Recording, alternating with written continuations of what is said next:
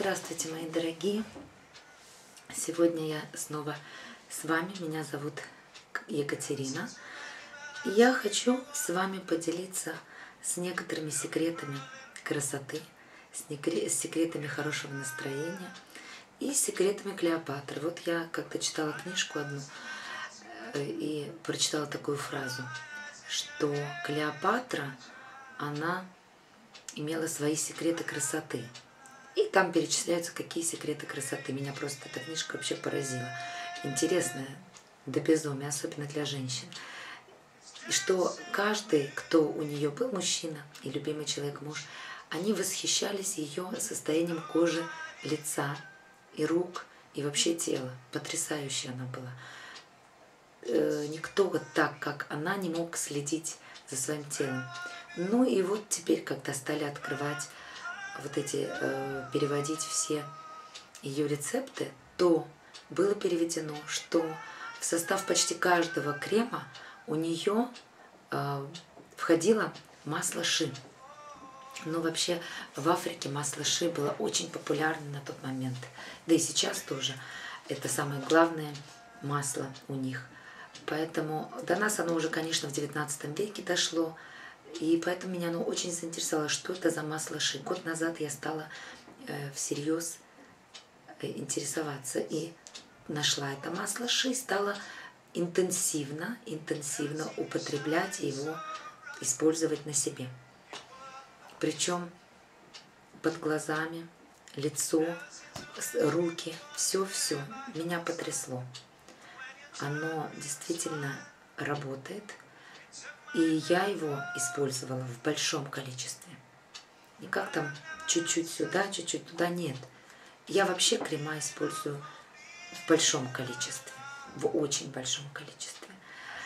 Ну, в смысле, свои крема. Я делаю крема сама тоже многие. Вот я кладу на такое маслечко, вот оно, масло шик, я не буду говорить, какая это фирма, потому что не хочу ничего рекламировать, чтобы вы не думали, что я это делаю ради рекламы. Нету никакой рекламы. Я делюсь с вами своим сокровенным. И людей с негативной энергией ко мне прошу на канал не заходить и не оставлять негативных комментов.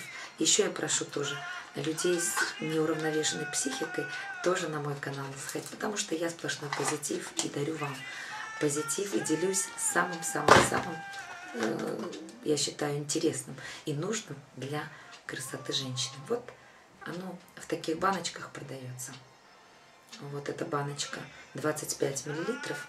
И оно по консистенции своей твердое.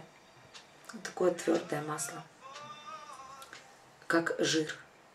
И вот я вот капельку, капелюшечку возьму. Очень быстро оно растапливается, поэтому на водяной бане я его растапливаю.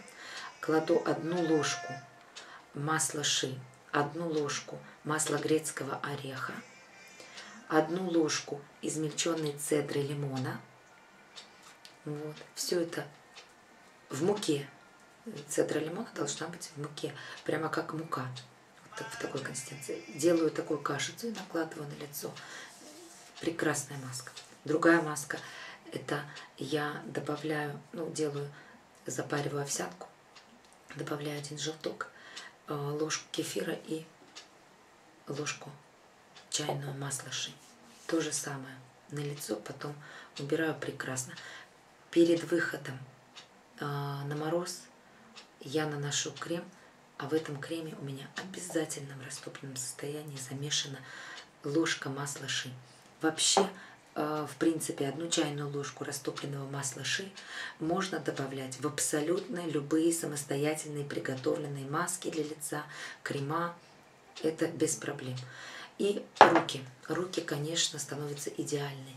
Для меня это особенно необходимо, потому что я занимаюсь еще садоводством, я обожаю э, цветы, я наслаждаюсь каждым видом цветочка, и если вы будете смотреть мои видео, вы увидите, какой у меня сад.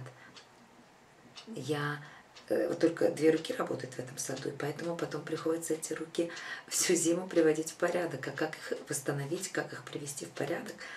Масло ши один из продуктов, который мне очень помогает в этом. Вот хочу с вами этим поделиться. Под глаза наношу интенсивно сюда большим слоем. И советую вам. Я вас люблю, целую и искренне желаю, чтобы вы были красивые, чтобы состояние вашей кожи вас приятно удивляло и радовало. С вами была я, Екатерина.